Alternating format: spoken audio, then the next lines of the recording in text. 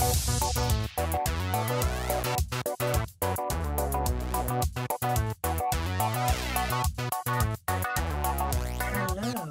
welcome to Alyssa Jean's Reviews, and welcome to my monthly transition video, trans life update, life as a trans woman video.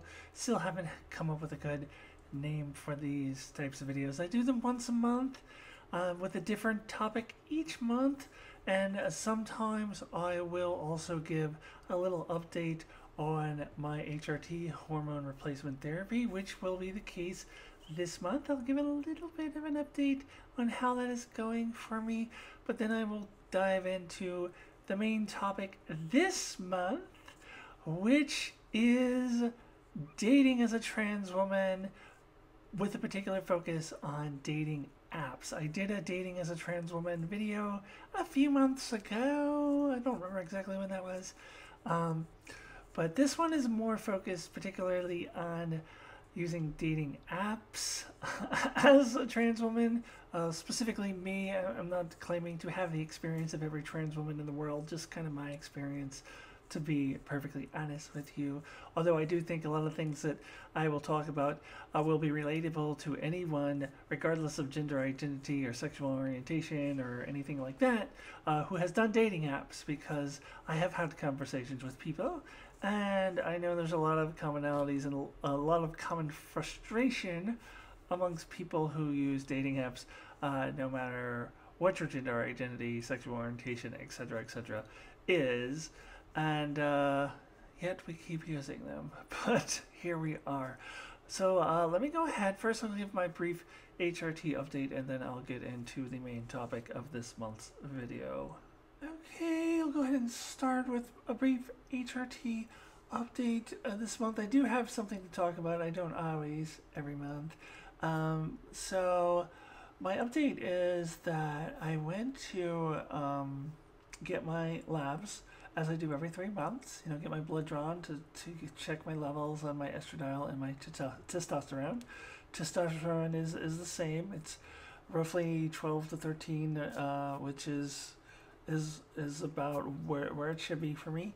And uh, my uh, estradiol is interesting because um, the highest I've ever had before is 198 uh, PG per milliliters. I think picograms per milliliters. It's like a very, very small unit of measurement. It's like one trillionth of a gram. I don't know exactly what that's supposed to mean, but I do know what the normal range is supposed to be. Um, my doctor says to shoot for uh, 200s, like low to, to mid 200s. Um, the highest I've ever had is 198. The last one I had was 156, uh, and three months ago in July and my doctor was like, "It's a little low, but it's all right."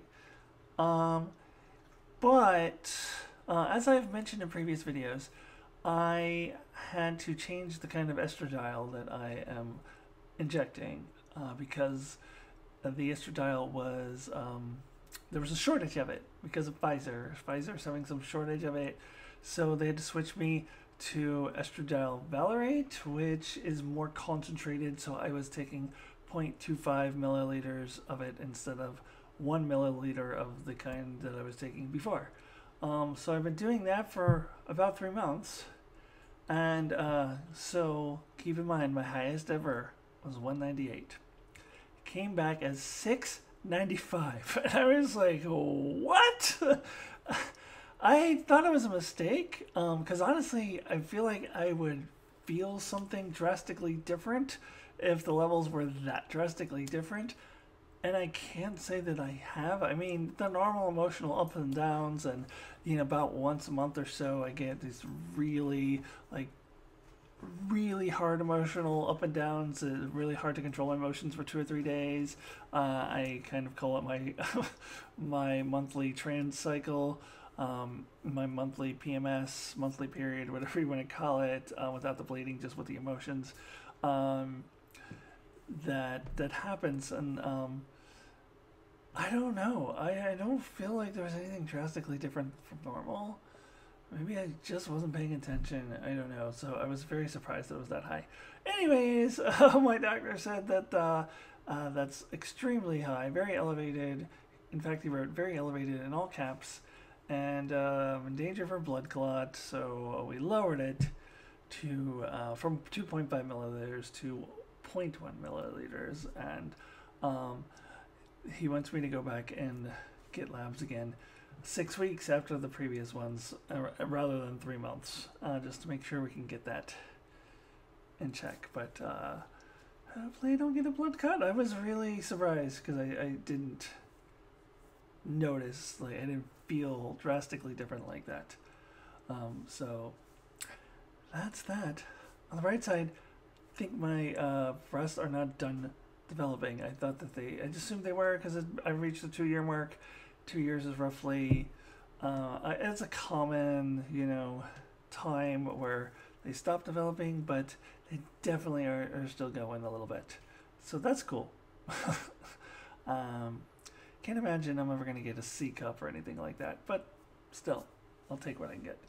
So uh, that's that's all I got for that one. Now let's go ahead and get into the main topic, which is dating apps. Wonderful, lovely topic that it is.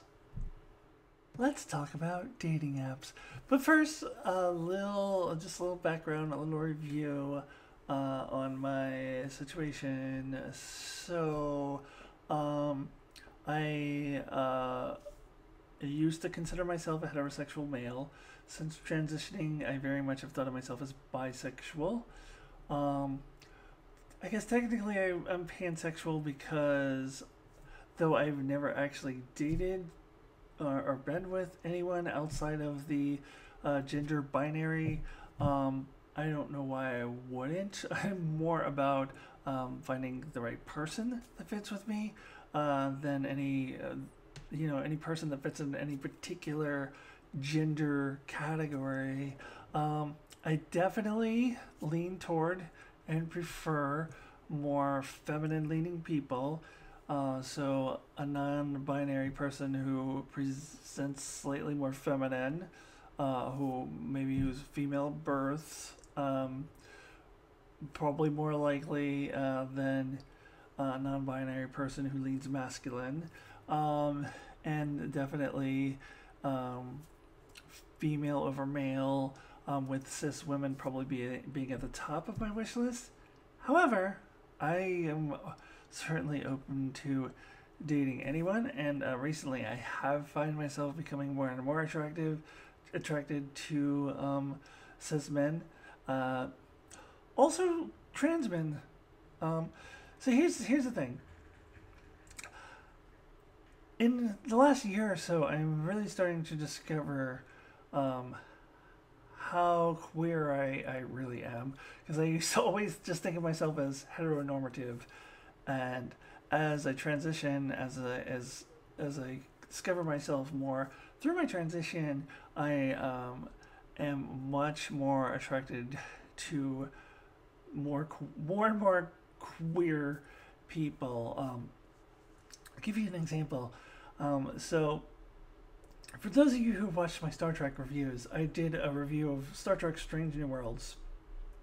Earlier this year, there was an episode that featured an actor named uh, Jesse James Keitel, who um, I immediately um, just fell in love with and just well, like just found her so sexy in the queerest of ways. Like she was she just exuded this particular type of queer sexiness uh, that just really drew me in. And my brother was watching that same episode, and he didn't even catch that she was necessarily queer or trans uh, immediately. And then when someone pointed out, he's like, "Oh, okay, I can see that," but he didn't like it. Didn't she didn't exude queerness to him, but to me, like she just exuded this like really particular sexy kind of queerness. Uh, and she, by the way, uh, considers herself non-binary, but uses she/her pronouns. Uh, and she's trans, but she's non-binary trans, but she's not gonna tell you whether she's female at birth or male at birth, and I love that. uh, I'm so infatuated with this person. but I have found in general that I'm just starting to be more and more attracted to a particular type of queerness that I wasn't attracted to um, before. And yet I'm still finding myself a little more attracted to just normal cis men. Um, but normal cis men, probably not, just probably not going to happen to me. I find them, some of, uh, some of them physically attractive, but attractive, but um, that's probably not going to happen. So let me get into a little bit of my, my dating app experience with kind of the different gender groups um, that I look at. Yeah, so I've kind of stopped um, using dating apps that really, really push the cis men. Here's been my experience with cis men.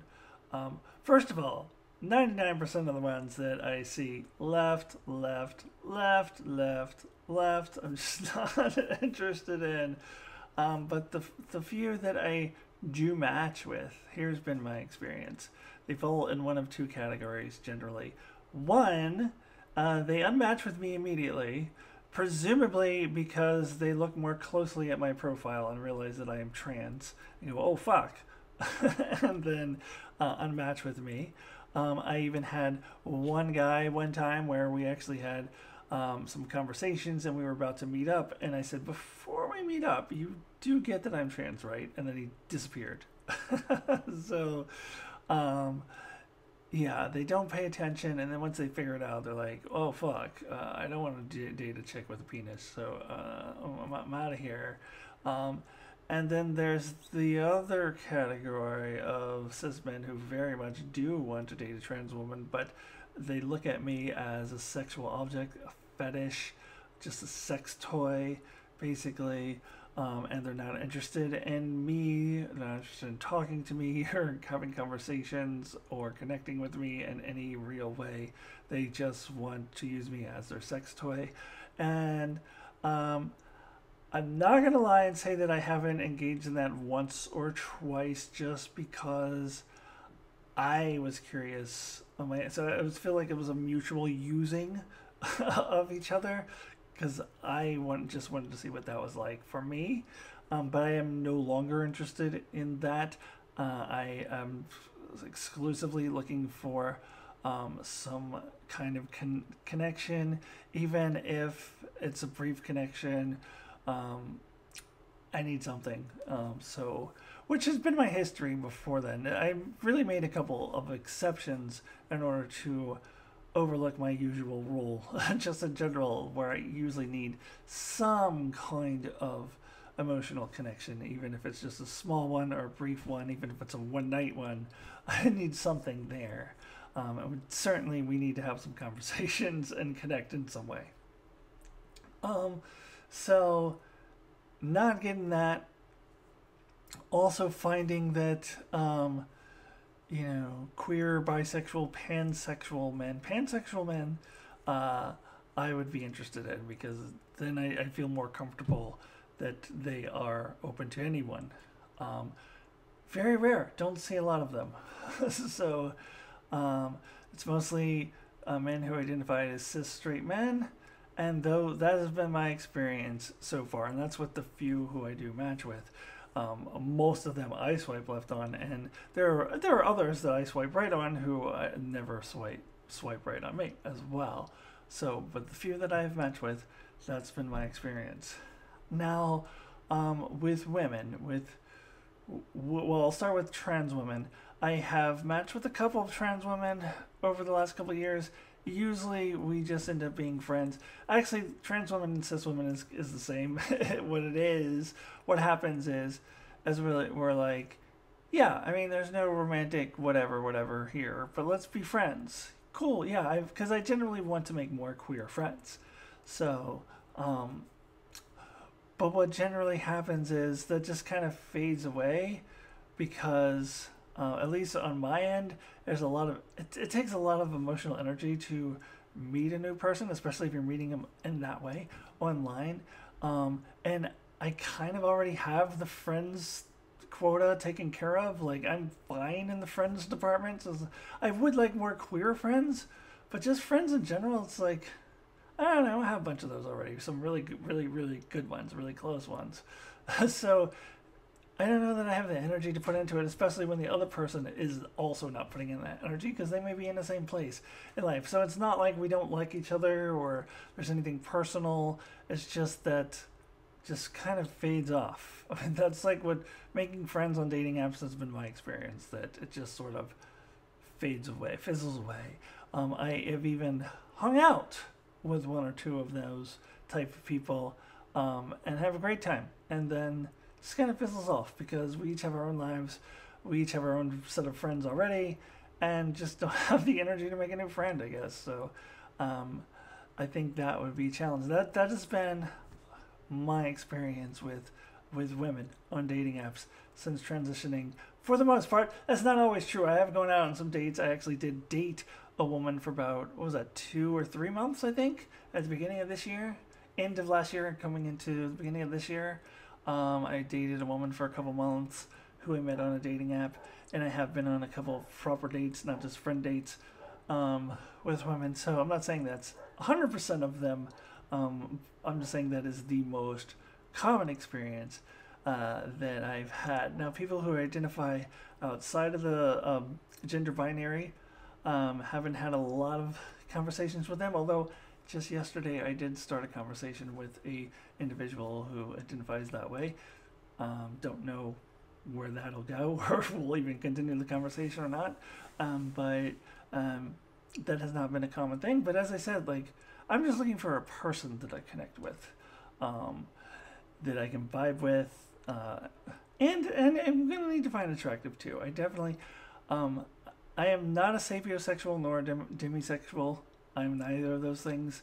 Um, so I do find people physically attractive, um, but uh, I also, you know, I still kind of need the, the, emotional connection too. So I don't know. So that that's been my experience so far. Now I kind of want to talk about some of the particular sites, and if you guys like in the comments have any particular apps that, that you would suggest, let me know. I have tried uh, queer specific apps uh, and the more generalized, like everybody apps. Uh, so let me just run through some of those. All right. So as I said, I've recently given up on Bumble. It's like 99.99% um, cis men that come up, even though I'm set for bisexual. Every once in a while, I would change the setting so that I'm only looking for women. But then, like, 10 of them would come up and then say, You have run out of people. So there's, there's not a lot of queer women on Bumble in my area, I guess. Um, so maybe that tells me something. Maybe I shouldn't be using it. Um, and yeah, I don't know. And that was the site where that was the app where I was getting the most like uh, sexual fetishes or um, ditching me immediately once they realize I'm I'm not trans or that I am trans. Um, so I was like, I'm done with it. Why am I wasting my time on this one? Like I went waste way too much time on that app. So that one's gone. Um, I gave up on Tinder a very long time ago because Tinder um, was confused by the fact that I said um, that I was looking for gay or bisexual women. Um, but you know, straight or bisexual or pansexual men and it kept giving me straight up gay men. Like that was like the most, like ninety percent of the people they would show me are straight up gay men. That does me no good. Like Tinder is just broken. I mean, I have a lot of problems with Tinder um, from before when I was, you know, using it as a heterosexual male as I perceived myself at the time. Um, but this, this just it's just a bad one. So that one's long, long gone. I haven't used that one in a while. Um, I like OkCupid in theory. I like it. It definitely seems to be more uh, queer friendly. It is very poly friendly, which I am not. Um, but uh, I don't, you know, don't judge people who are.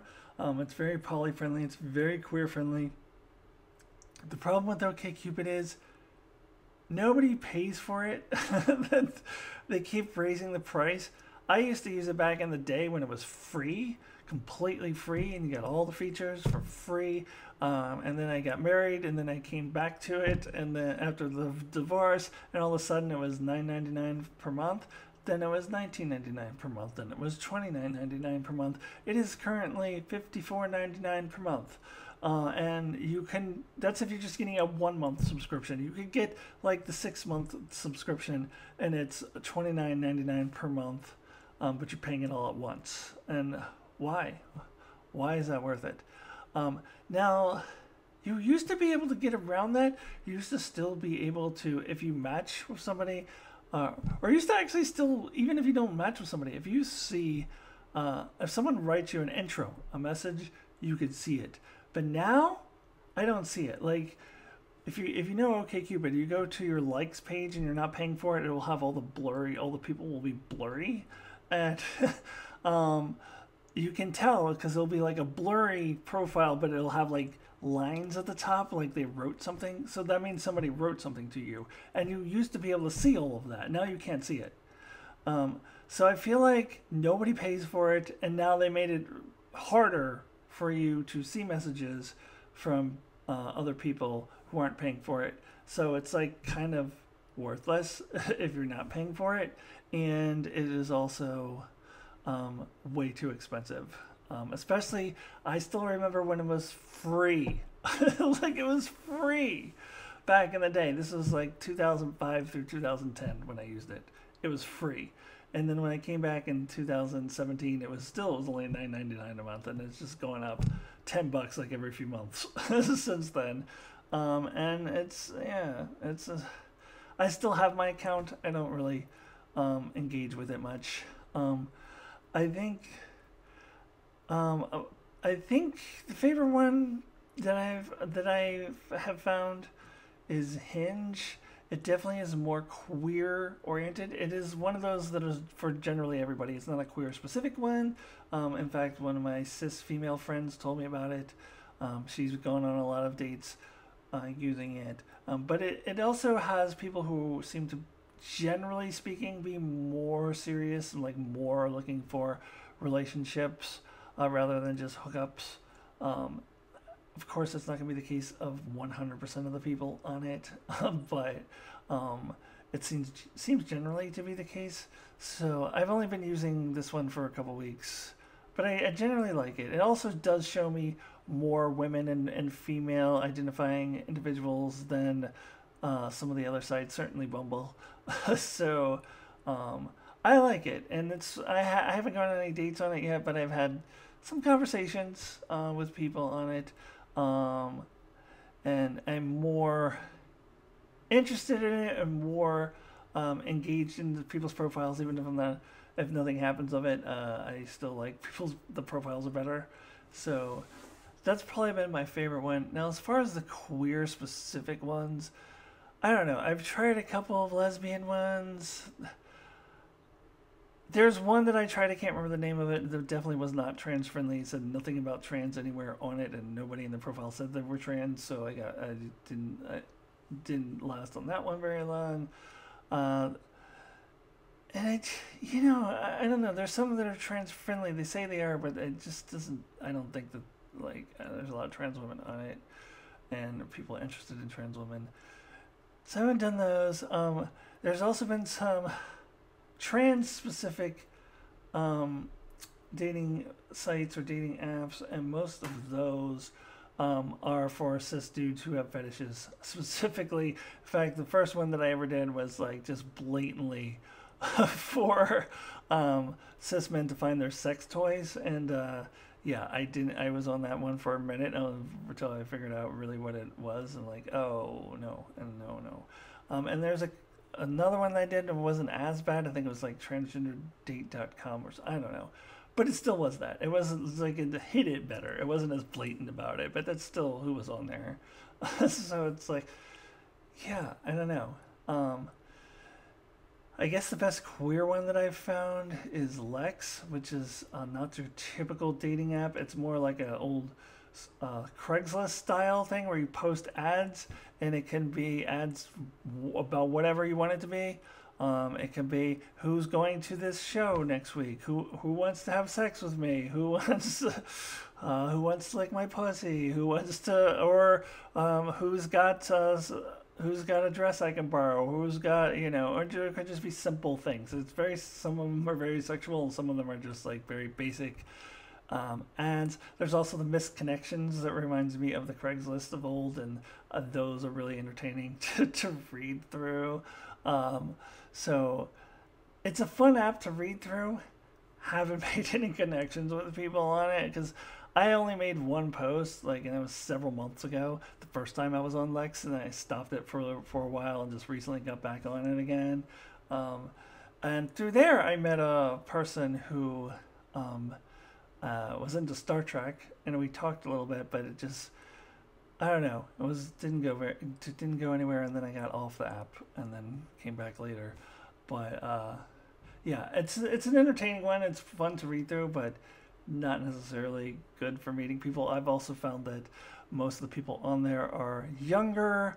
They're into different things than I am. There's no other hippies, deadhead Phish fan hippie people on these apps. They're all like very queer, very into punk rock and indie rock and um, musicals and and playing video games all night and D and D and things that I'm not into. Like it's all this, and they're all younger. They're in their twenties or thirties. Um, I'm nearly 50, so it's like not a whole lot of people that I can connect with on that app. But I know, it's fun to read through. But you know, if anyone knows of any good queer apps for um, middle-aged queer people, let me know because I haven't found them. Alright, I think that's enough rambling. I had this idea that I would like go through and complain about all of the bad profiles that I've seen that I know it's not just me, that there's there's a lot of commonalities uh, with other people, uh, such as the dudes holding the fish, the dudes who look like serial killers, etc., etc. I just don't think I have an energy to go through all of that. But if you've done a dating apps, you know what I'm talking about. Perhaps I'll do a follow-up video at some point and talk about that. Uh, I think that will be it though for this month's video. Uh, join me next month where uh, the topic will be something I haven't decided on yet. and uh, uh, it will be post-election, so it's possible it could be a little more political if I have the energy for that. Um, so we'll see. We'll see. Um, so the best way to find out what it'll be is subscribe, uh, ring the bell for notifications. Also, as a bonus, if you happen to be into Star Trek, House of the Dragon, Star Wars, nerdy things like that, I do reviews as well on my channel. In fact, that's mostly what I do on my channel. So you should check out all of that. And I will see you really soon. Thank you, everybody, and goodbye.